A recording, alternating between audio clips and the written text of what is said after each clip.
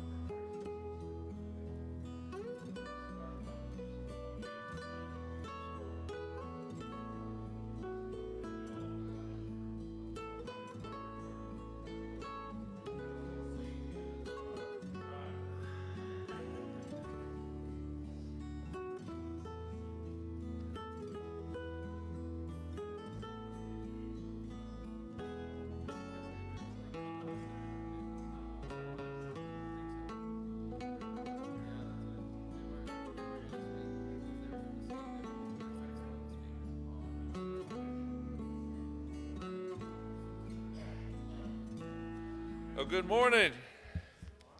It's good to see everyone this morning. So glad that we can gather together and worship the Lord. Uh, it's been a crazy week, hasn't it? And uh, I, it looks like there really isn't any, uh, with some of the things going around um, around us, it doesn't look like things will change this next week. But we can gather together and we can worship our Lord and Savior. Amen. And in doing so, uh, when we get together uh, with our church family, we get we encourage each other. We gain strength from being together, focusing solely on Jesus Christ, and that's why we're here. And so, welcome those that are watching our, our live stream. Welcome. Glad that you can uh, join in with us. And may we just encourage each other this morning as we lift up the name of Jesus Christ. I want to remind everyone about our 31 days of prayer um, that are continuing this week. You see days 6 through 12 that's in our bulletin. Uh, new ones will come out in the weekly visitor this week, but uh, you see day 6 I hope that we're not just stopping praying for our nation on just day six and then going to something else. May we just continue each and every day lifting up our nation, lifting up our leaders. Um, we're commanded in Scripture to do that. Amen. Uh, we're even commanded to pray for those that we may not agree with. But God's word is what is our foundation. It is our our, our, our book of principles. And may we, may we be praying, may we join together. Also, as we pray together, may we read God's Word together. If you haven't picked up a, a, a, reading, a Bible reading guide for the year, if you would like one, they're out in the, the Welcome Center. Uh, from very fast pace to a, you know a lot slower pace, but each one at least will get you through God's Word in a year. And uh, may we read this year more than we did last year. And we draw encouragement when we uh, together are praying, when we are together reading God's Word. And so please, uh, please do that, okay? After services, we'll have a quick uh, business meeting going over our reports from this past uh, month. And so also um, uh, remember that, okay? Let's go to the Lord in prayer this morning as we worship. Our most gracious Heavenly Father, Lord, we come to you. We pray, worshiping you, the creator of the universe, the everlasting Father, the Almighty God. And Lord, what a privilege it is to gather with your people in a time of unrest and turmoil, in a time of divisiveness, Lord, we can come together and, and, and solely just worship you, Lord. That's what we want to do this morning. Lord, your word promises that you're here. Your word promises that you hear us when we call on you. Lord, your word promises to answer. And Lord, our prayers, we are basing it all on the promises of your word. Lord, we, we ask that you'd be with our nation during this time and our leaders. Lord, many do not know you as their Savior. And Lord, I, I ask that somehow the message of Jesus Christ would cross their path once again. Lord, and that it would be the right time as your Spirit is speaking to their hearts and they realize their condition. Lord, may you be sought for the wisdom needed to make the decisions that need to be done. Lord, we as a nation have gotten away from your word, your principles. Lord, draw us back. Lord, your word promises if your people will call on you, Lord, you will answer. And Lord, we're doing the, that very thing. Lord, as we worship this morning, May you be honored. May you be glorified. Lord, I pray that as we go throughout uh, this service and in, into our individual lives, Lord, that we would just magnify your name for others to see. And Lord, most of all, we pray if there's one here this morning that has never put their faith and trust in Jesus Christ, Lord, I pray that your Spirit would speak to their hearts. Draw them to you, Lord, and I pray that they'd realize their condition and put their faith and trust in Jesus. Lord, we love you so much, and it's in Jesus Christ's name that we pray. Amen.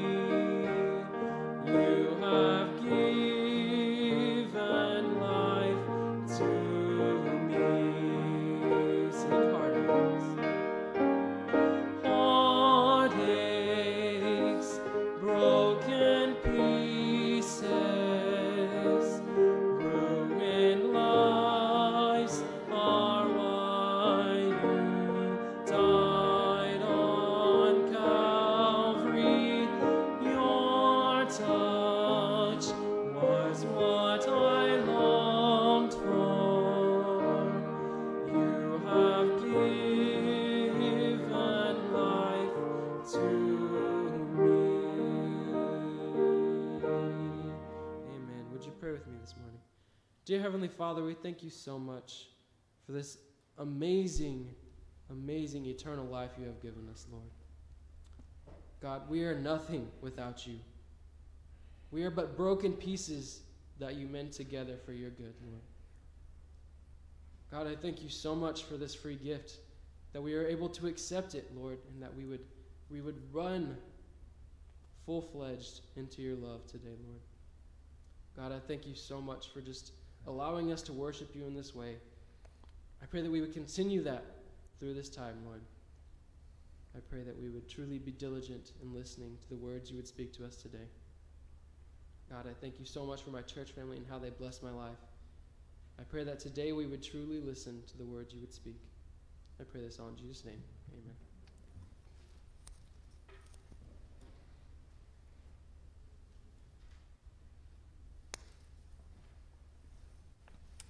Amen. If you have a copy of God's Word, I invite you to turn to John chapter 4. John chapter 4. There were two boys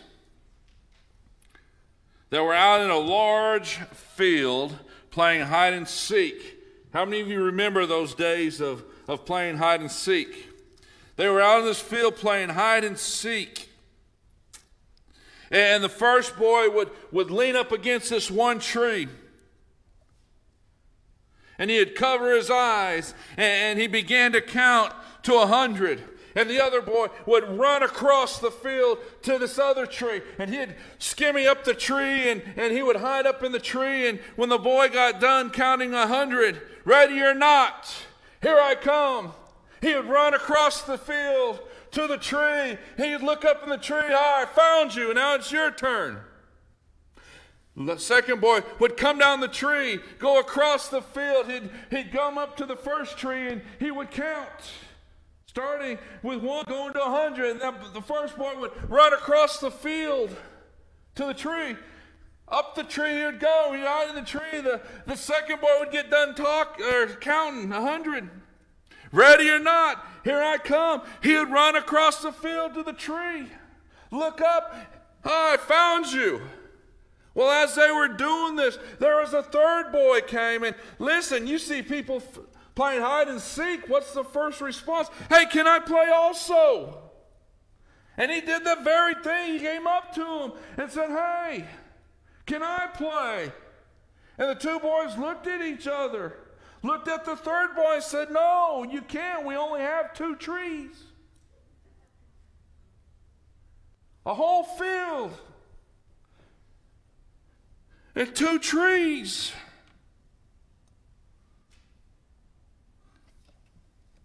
In the midst of them playing their game of hide and seek, they forgot that there's many different hiding places for them and others.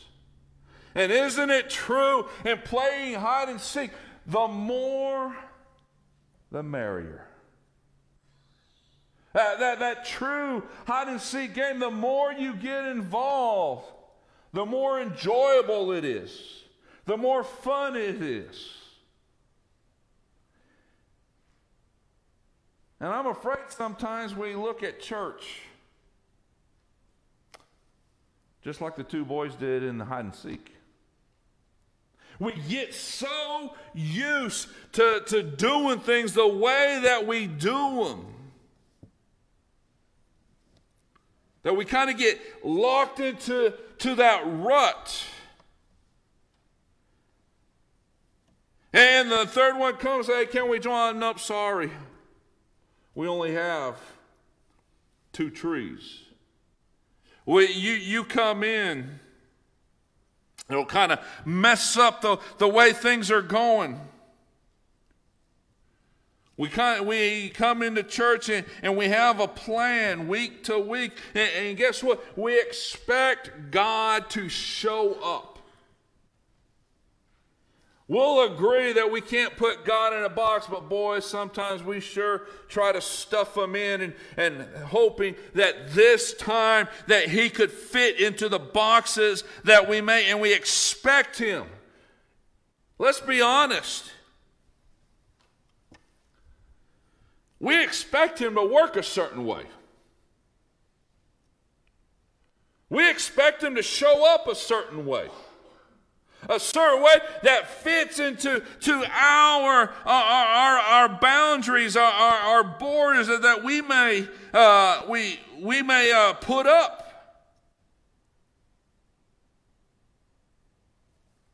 And what happens is when we stop playing church in the same old ways. It's amazing how God shows up and how we encounter and experience the living God. And isn't that why we exist as a church? Our purpose as a New Testament church is what? Is to love God and to love people. And for that to happen, we exist, number one, to encounter God.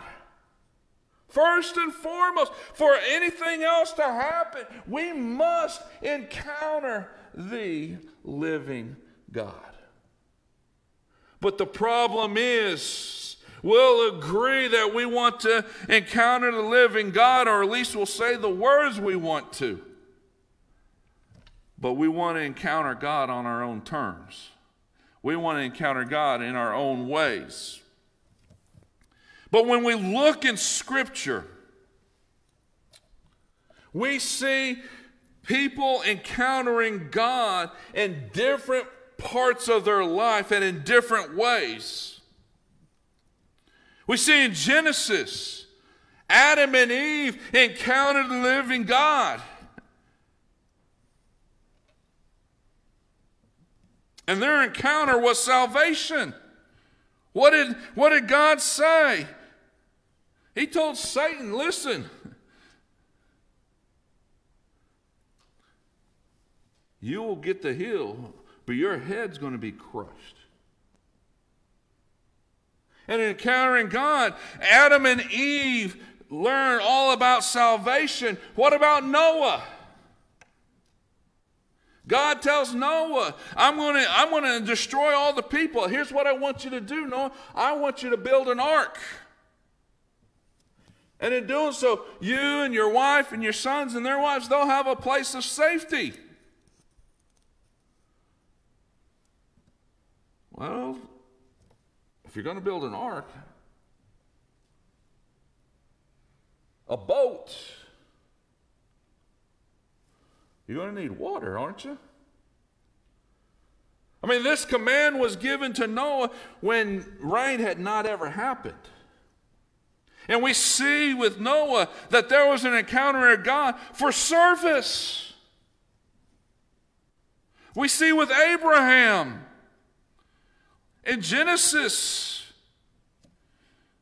I appeared to Abraham. I told Abraham, I have, I have heard the, the prayers of Sodom and Gomorrah. I'm going to go down to see.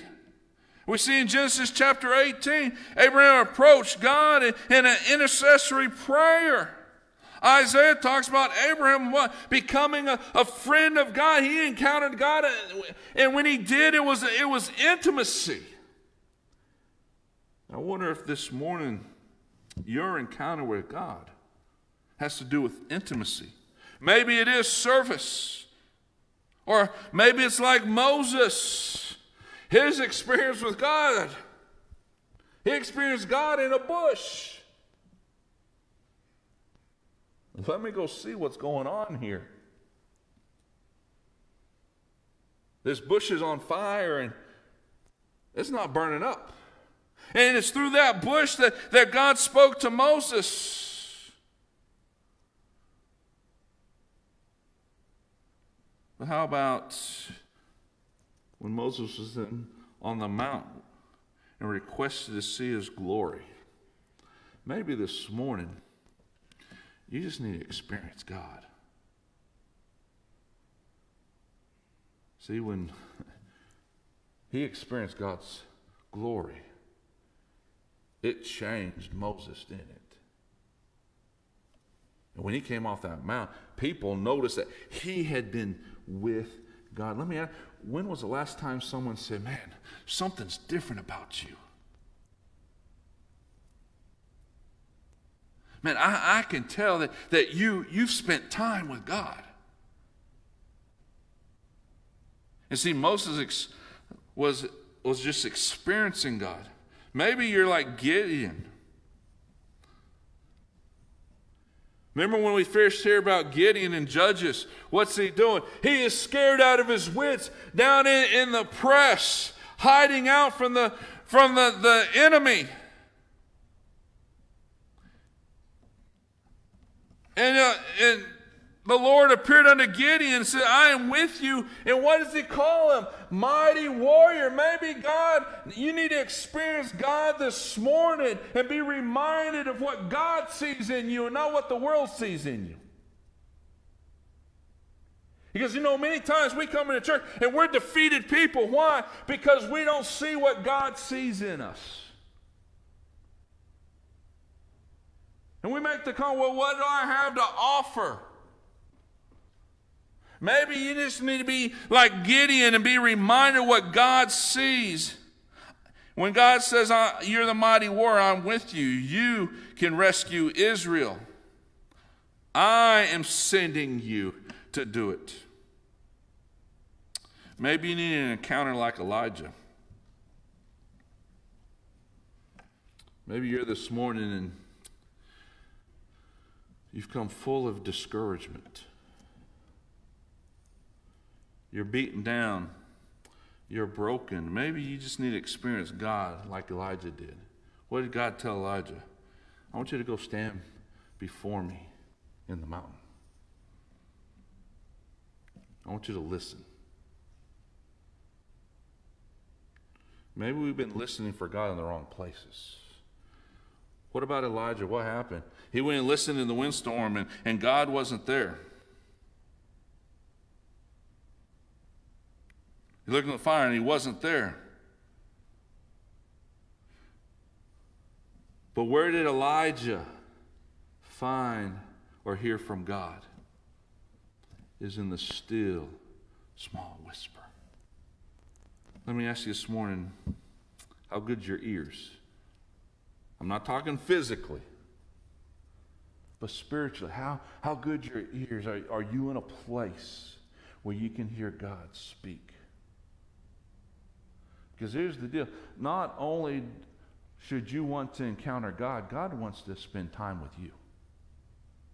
God wants to spend time with us. And see, God broke that discouragement with Elijah and gave him a task.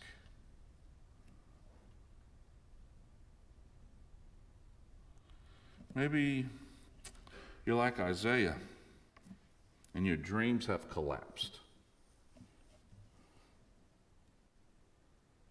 Very easy after this week. Let's be honest, it's very easy after this week to lose some hope. Amen. Anybody watch the news and very easy let some worry set in? What now? Oh Lord, what's going to happen? You know, in Isaiah chapter 6, it says, In the year that what? King Uzziah died. King Uzziah did some great things. You look into history. King Uzziah did some great things. Politically, militarily, eco- economically, everything that you would want in, in a leader, King Uzziah did. But guess what? Scripture says about him. He died. Listen, it's appointed unto man wants to die. Amen. He died. But what does it say about what did Isaiah write? In the year that King Uzziah died, what happened? I saw the Lord.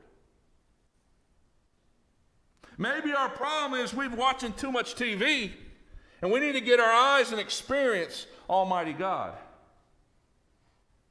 Maybe we, we need that experience that, that Isaiah had. His dreams collapsed. And I saw the Lord what? High am I sitting on a throne. And his robe filled the temple. Listen.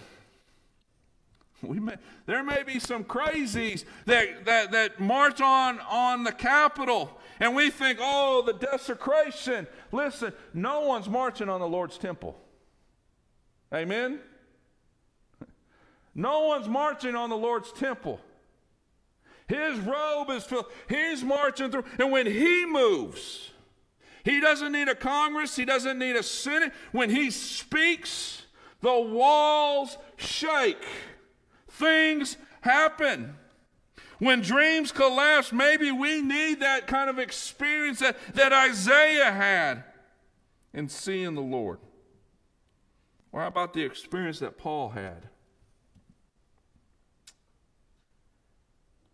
In Acts chapter 9, it was, it was salvation and service.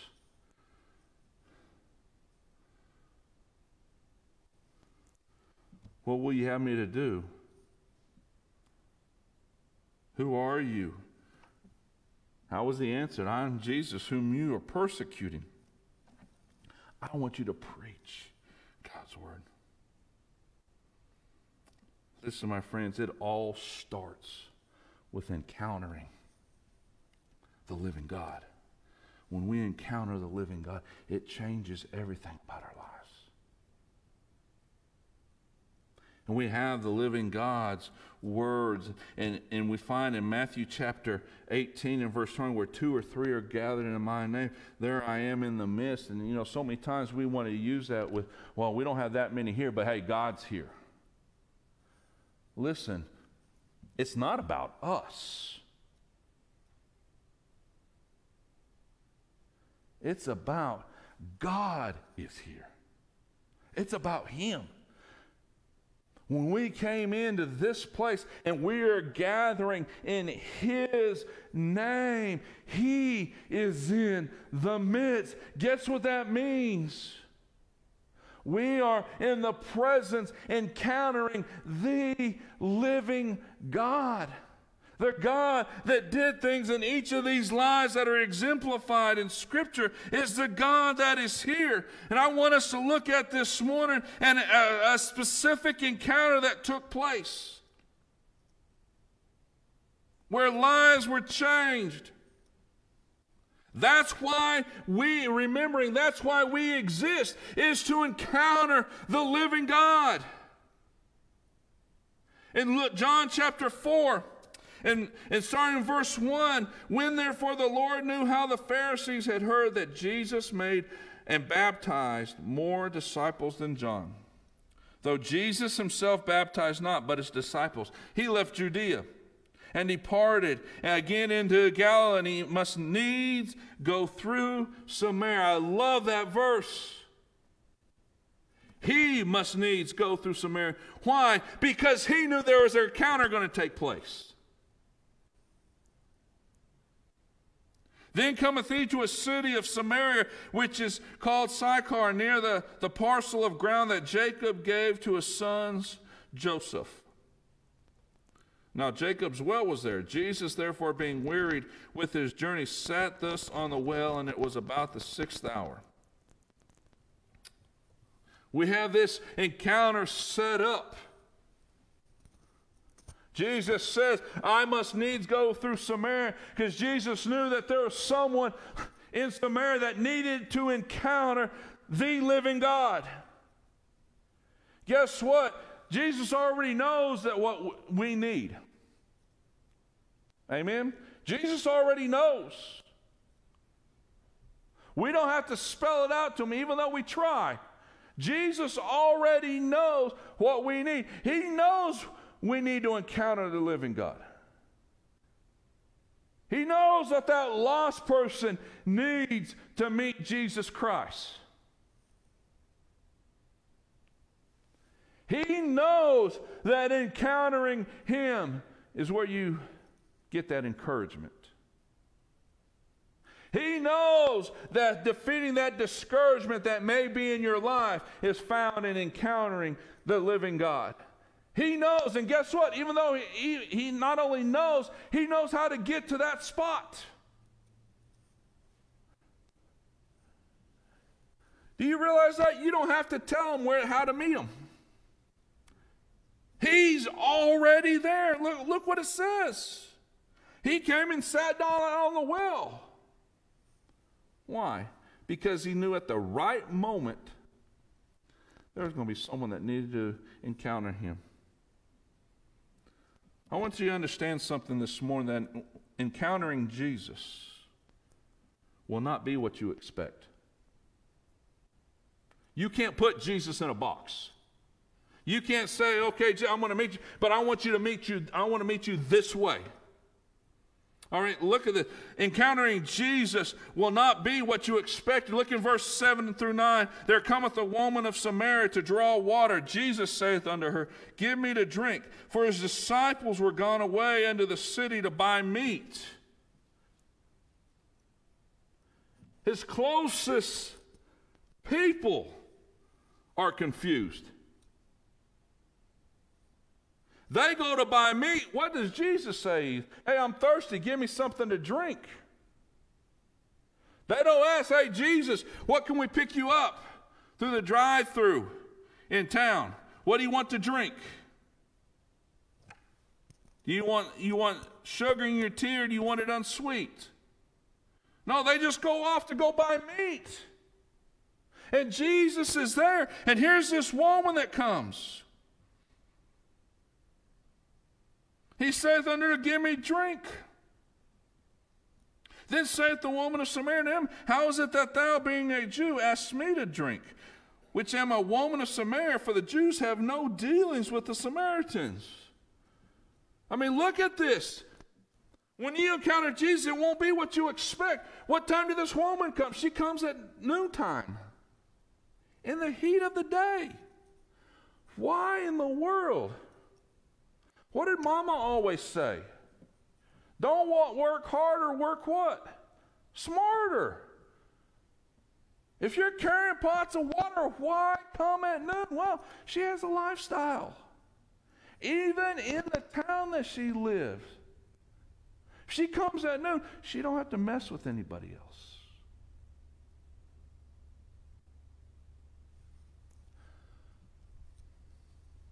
Isn't that how we treat church sometimes? We try to just slip in, kind of get lost in the shuffle where people don't notice.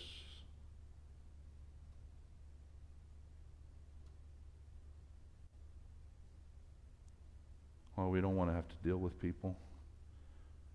We don't want people to ask too many questions about us. She comes at noon. She's a Samaritan. Jesus is a Jew. Folks, in Bible times, that's not a good mix, is it? I mean, we are hearing all kinds of things nowadays about racial things. Man, we haven't seen nothing yet. But a Jew and, and a Samaritan, that just did not work. Jesus is a man, she's a woman.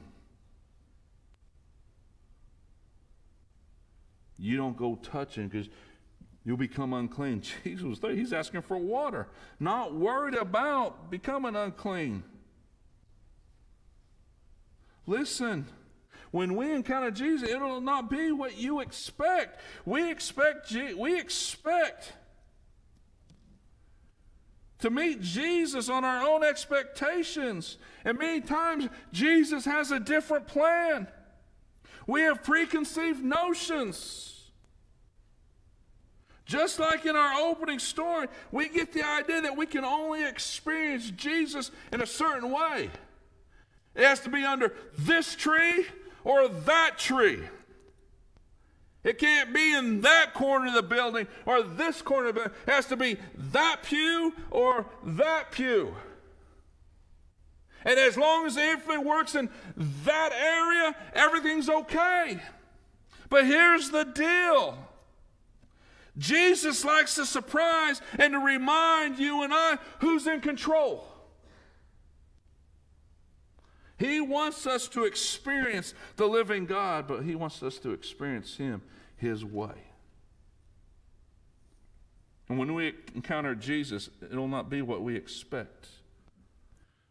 But here's the other thing when we encounter Jesus, it'll address questions you don't know you need answers. Look in verse 10. Jesus answered and said unto her, If thou knewest the gift of God and who it is that saith to thee, Give me to drink, thou wouldst have asked of him, and he would have given you living water. And the woman saith unto him, Sir, thou hast nothing to draw with, and, and the well is deep. From whence then uh, hast thou that living water? Art thou greater than our father Jacob, which gave us the well and drank thereof himself and his children and his cattle? And Jesus answered and said unto her, Whosoever drinketh of this water shall thirst again. But whosoever drinketh of the water that I shall give him shall never thirst, but the water that I shall give him shall be in him a well of water springing up into everlasting life. And the woman saith unto him, Sir, give me this water that I thirst not, neither come hither to draw. This woman comes to the well focusing on literal, refreshing water to drink. Water that she can take back to cook with at home or, or clean with at home.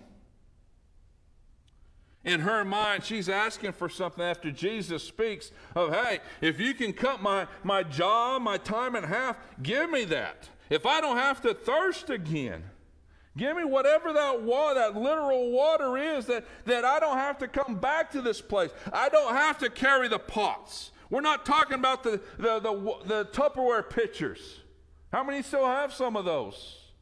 We're not talking about those Tupperware pitchers. We're talking about cisterns that, that they would have to carry and then not only carry them empty, but fill them up and get them back home wherever it may be. Hey, if I can do something where I don't have to carry those things again, great.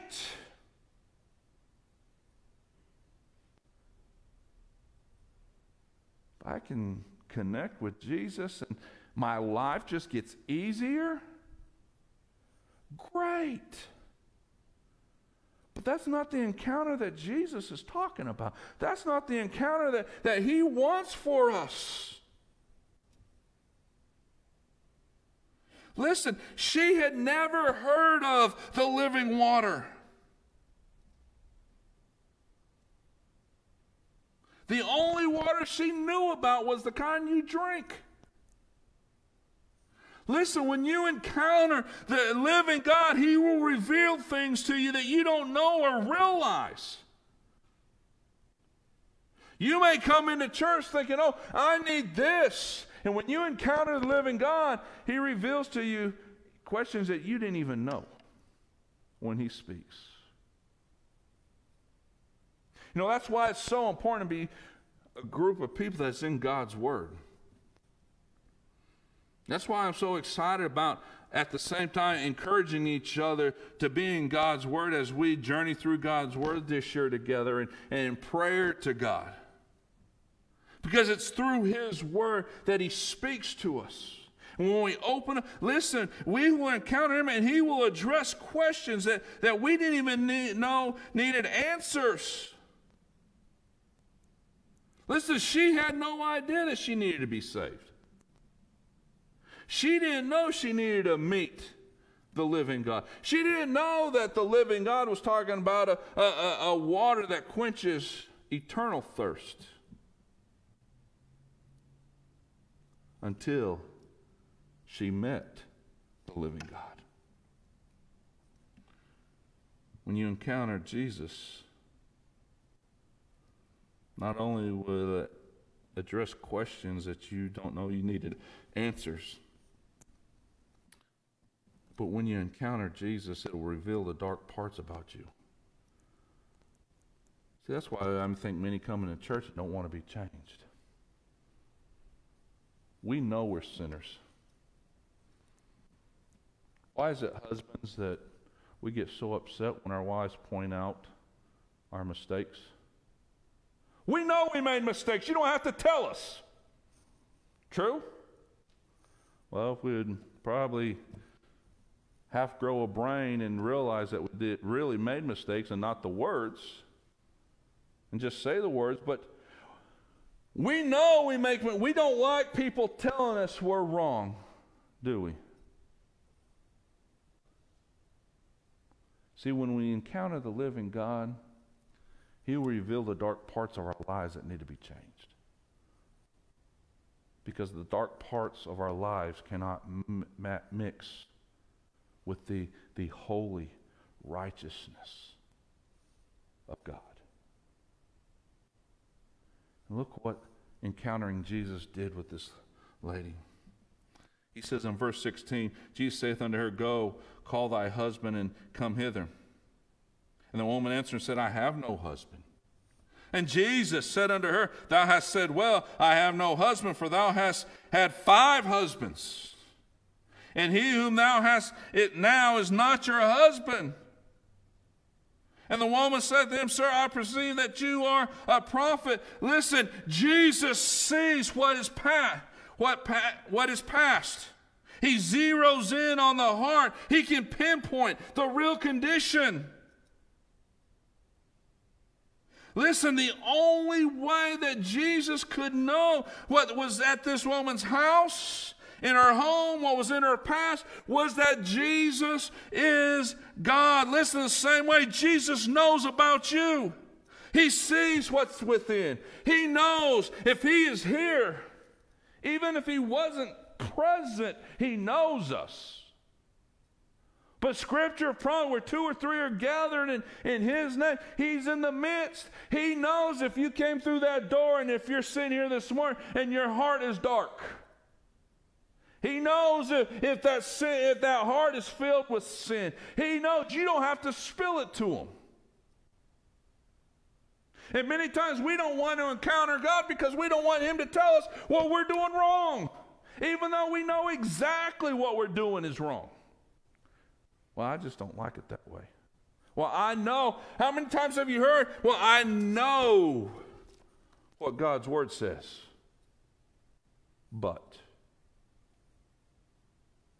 I know what God wants me to do. But. I know what is right, but oh, it's too hard. It, it, doesn't. It's not benefiting me right now. I, I, I don't want to be a part of it. See, when we encounter the living God, eh, He will reveal the dark parts of our lives because He pinpoints right what needs to change. No matter how we may try to fix it up, we like the little fluff here and a little fluff there and, and fool everybody. And boy, it's easy to do that with church, attending church, isn't it? How many times have you pulled yourself out of bed? Life is a wreck. You don't feel like coming. But you get up, you go through the shower, get your cup of coffee, put on a nice outfit, and you come and you sit and you are a wreck and broken and crying and screaming on the inside. But everybody sees the outside, don't they? And you don't want anybody to let in. Because if they see what's real, the storm that is going on on the inside, oh, they, they'll think differently of me. Listen, folks, we've been there. You and I both are guilty of coming through church doors sitting in pews, making the outside look good, and not letting Buddy inside because it is all tore up. It is dark. It is dirty. It is messed up. It's screwed up. It's tore up. Eh, I mean, there's battles raging. And, and oh, what are they going to think about me? Yes, we are guilty of stabbing our own in the back when they're wounded. That's why it's so important as we're encountering the living God that we're engaging others we're encouraging each other. It all, see, a church that is on fire for God, we, we've got to get to a point where we're not afraid to let people in. Therefore, we've got to be people that love Christ like.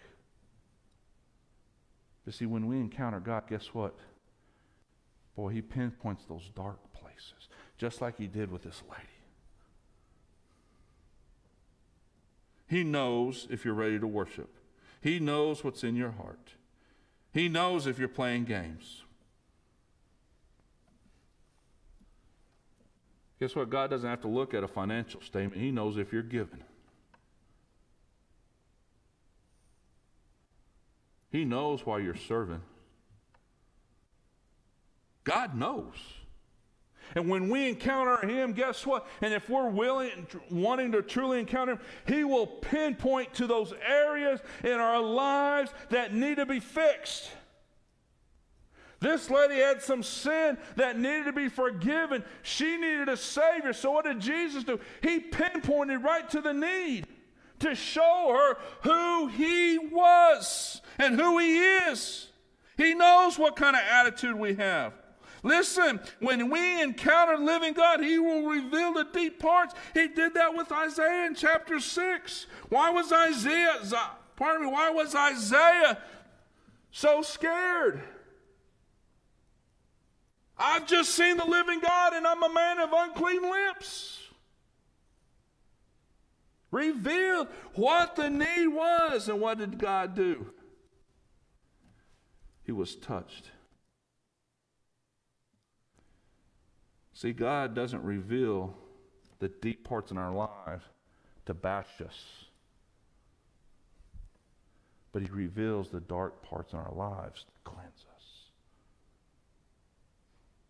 When we encounter Him, He'll do that. He will show those dark places that need to be changed. Listen, when we encounter living God, He will get to the true heart of the issue. Look in verse 20. And our fathers worshipped in this mountain. And ye say that in Jerusalem is the place where men ought to worship. Jesus saith unto her, Woman, believe me, the hour cometh when thou, ye shall neither in this mountain nor in Jerusalem worship the Father.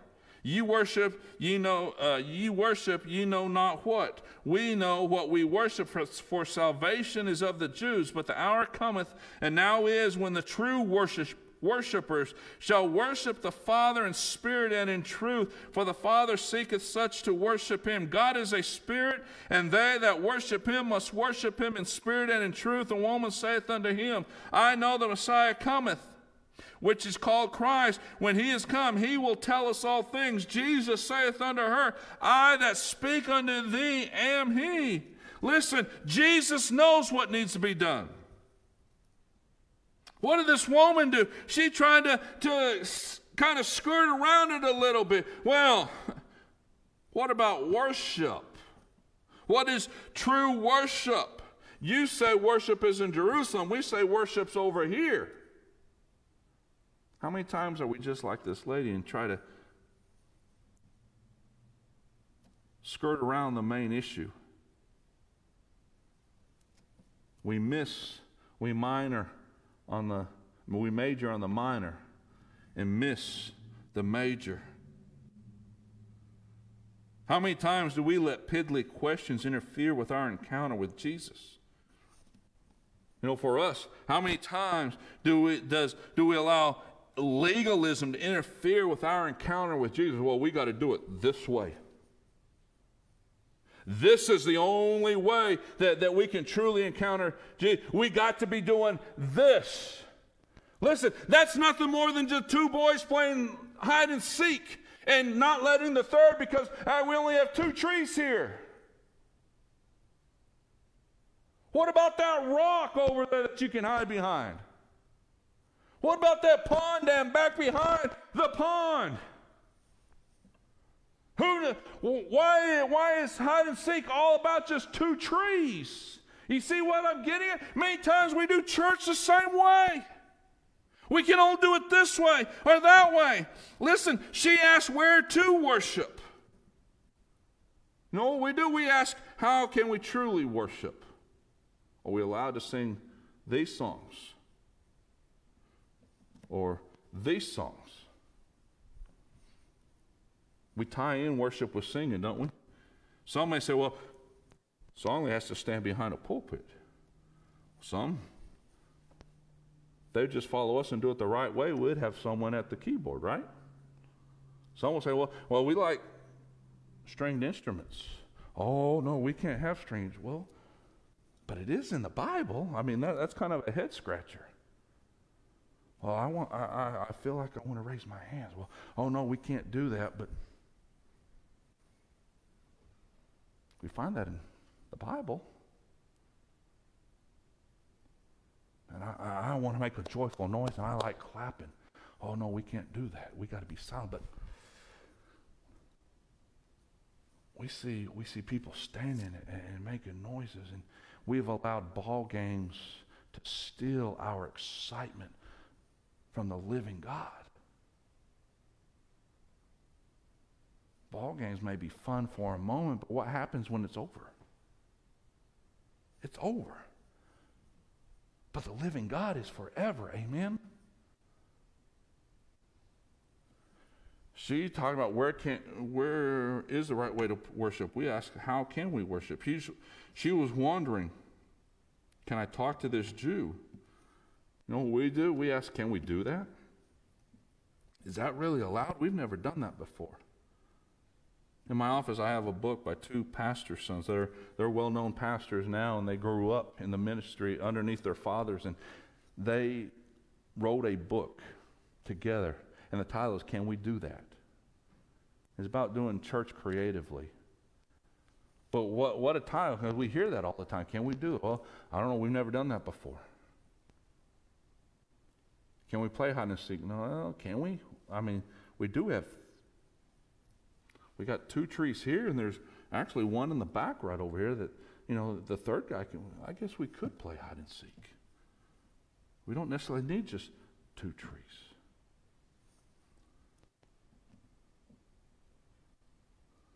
See, she was thinking up, just showing up, getting some water, and going home.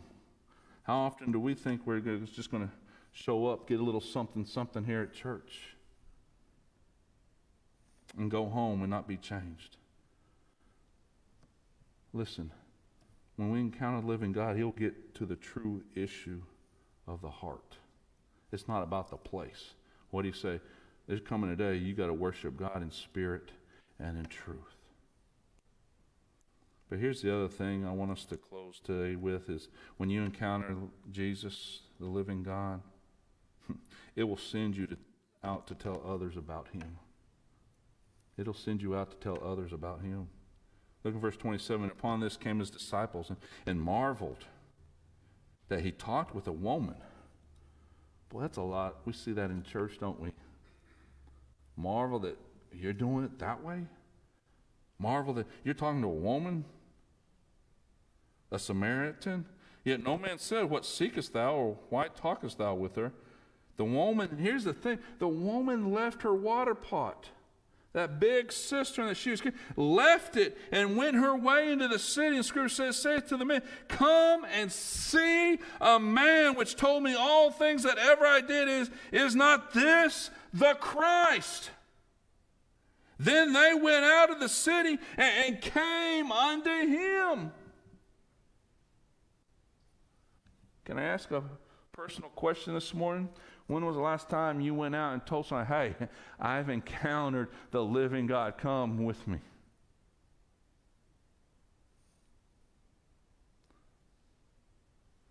You know what? Sadly, there's probably some that have never even told someone else about the living God. Maybe you haven't told someone else about the living God because you've never encountered the living God yourself. Because when you encounter the living God, He, he changes from the point of salvation when, when you're saved. Boy, remember when that, you were first saved? How many understood everything about the Bible when they were first saved? You're crazy, Pastor. I still don't know anything about the Bible. That's why we need to be in the Bible every day this year, going through it, because we don't know what's in the Bible. Because God, what? He reveals more and more. But, but that moment when we were saved, we didn't know anything about theologically about the Bible, but boy, we knew that, that Jesus did something in me. We knew that there was an encounter, and we went and we were telling people.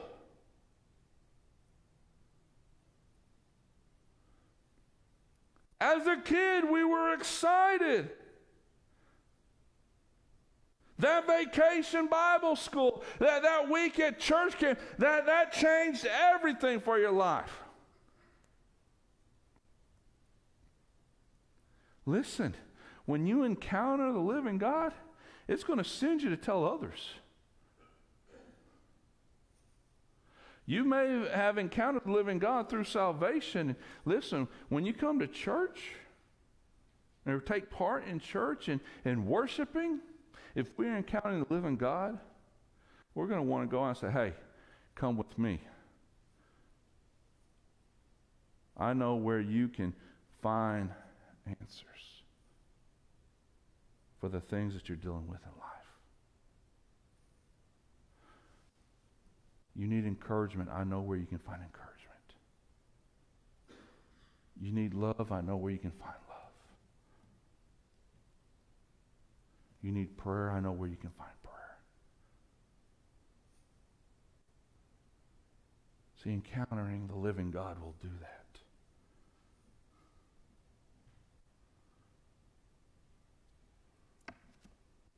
When you encounter a living God, you won't be able to remain silent.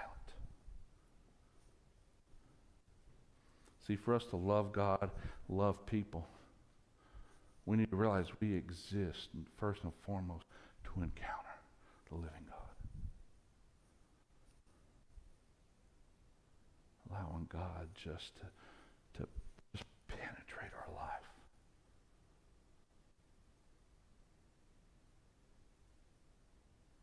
I think that's why we don't see powerful churches.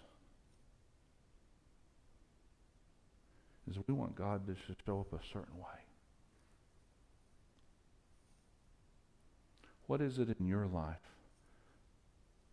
that you need to give over, let go of to encounter God? Maybe you're here this morning and you have never put your faith and trust in Jesus. You can't do enough stuff, my friends. Listen, you there is no possible way to do enough good stuff to, to make things right.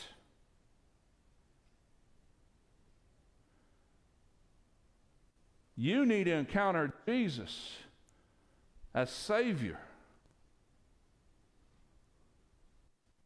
Maybe you're this this morning and you need to encounter Jesus and be reminded that, you know what, I'm saved to be a servant.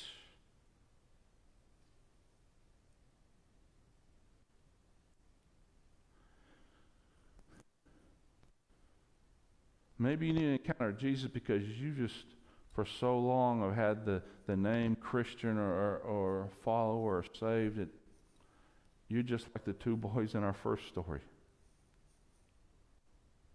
Uh, Anything between this tree and this tree is okay. Maybe you're this morning saying, Lord, I, I need to take away the boundaries in my life. I, I want to encounter you. I, I want I need to be I want to hear from you. I need that encouragement from you. We're going to have a song of response here in a moment.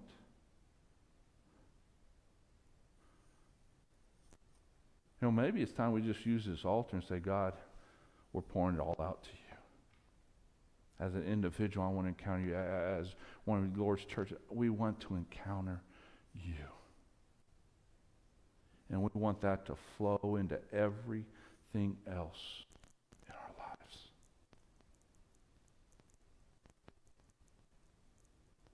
Because when we truly honor Him, we'll be changed will be changed. Let's pray. Most gracious Heavenly Father, Lord, we come to you. We thank you for the many blessings you've given us. Lord, I thank you that when we encounter you, that you do not leave us unchanged.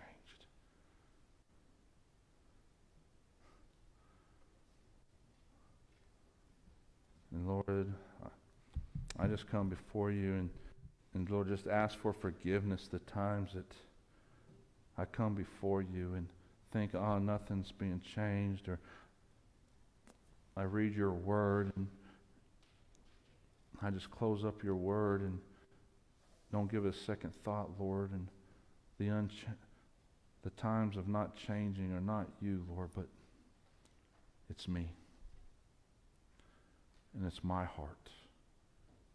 And it's my attitude.